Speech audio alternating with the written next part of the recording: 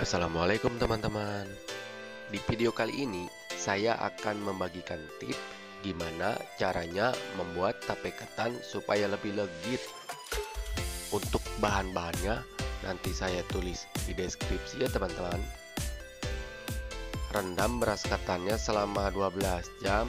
Habis itu dicuci bersih lalu dimasak hingga menjadi aronan nasi ya teman-teman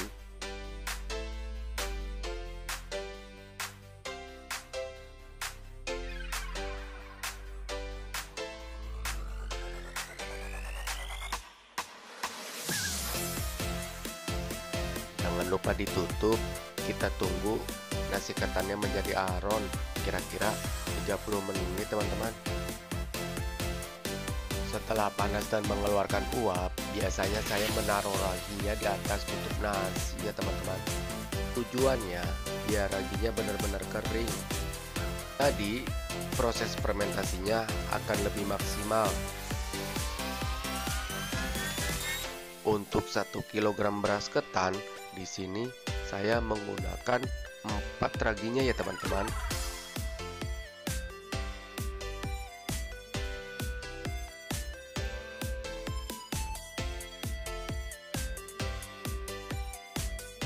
Setelah 30 menit kita angkat nasi ketannya ya teman-teman. Habis itu masukkan air sebanyak 200 ml atau satu gelas ya teman-teman. Diaduk-aduk sampai rata ya.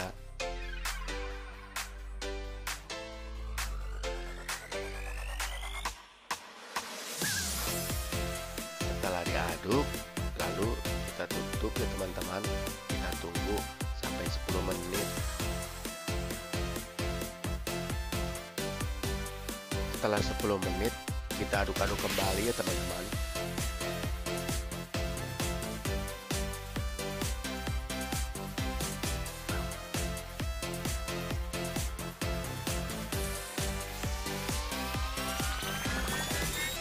kita tambahkan air untuk penanak nasinya. Secukupnya saja ya teman-teman. Habis itu kita masukkan aronannya ya teman-teman. Tunggu sampai matang kira-kira satu jam ya teman-teman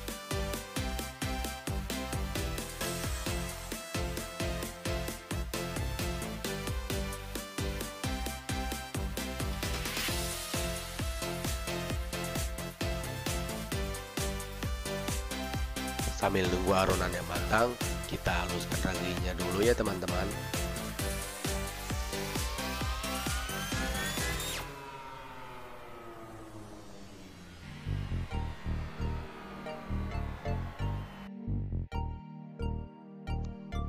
Di sini saya menambahkan satu sendok gula pasir ya teman-teman. Tumbuk raginya sampai benar-benar halus ya teman-teman.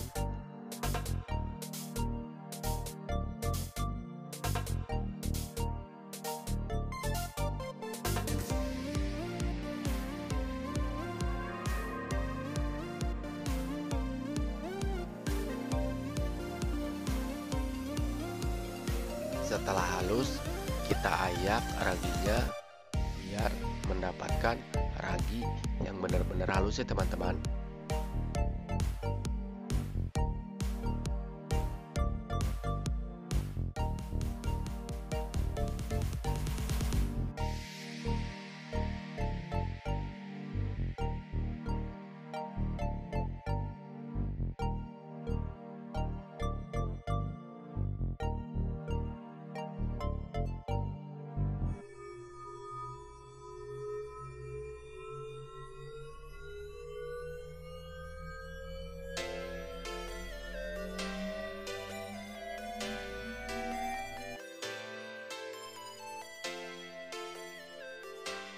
Setelah satu jam, nasi ketannya dirasa sudah matang ya teman-teman. Lalu kita angkat nasinya.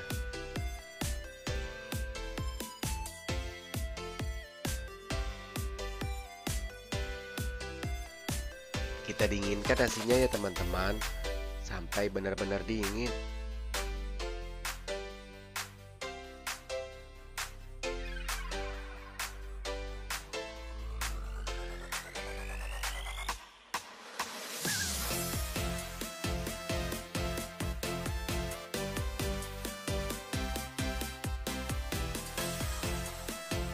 Setelah dingin, lalu saya taburkan raginya secara merata ya teman-teman.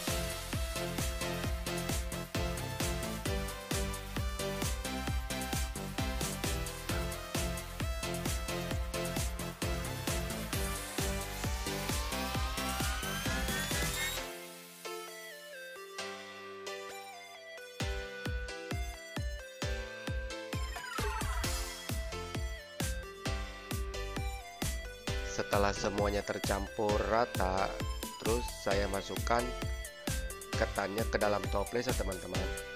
Cara memasukkan ketannya harus dibalik ya teman-teman. Karena masih ada proses peragiannya ya teman-teman.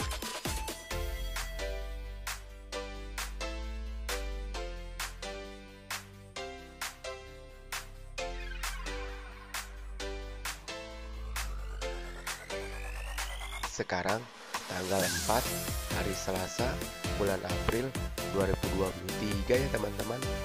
Untuk pematangannya selama tiga hari ya teman-teman.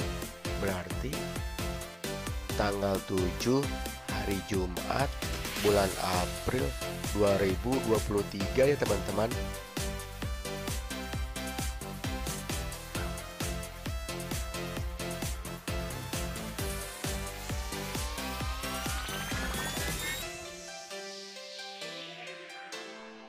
Ini sudah beres ya teman-teman?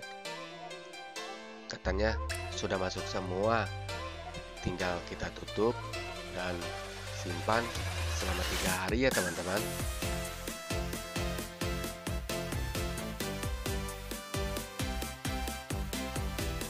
Jangan lupa subscribe, like, and comment ya teman-teman.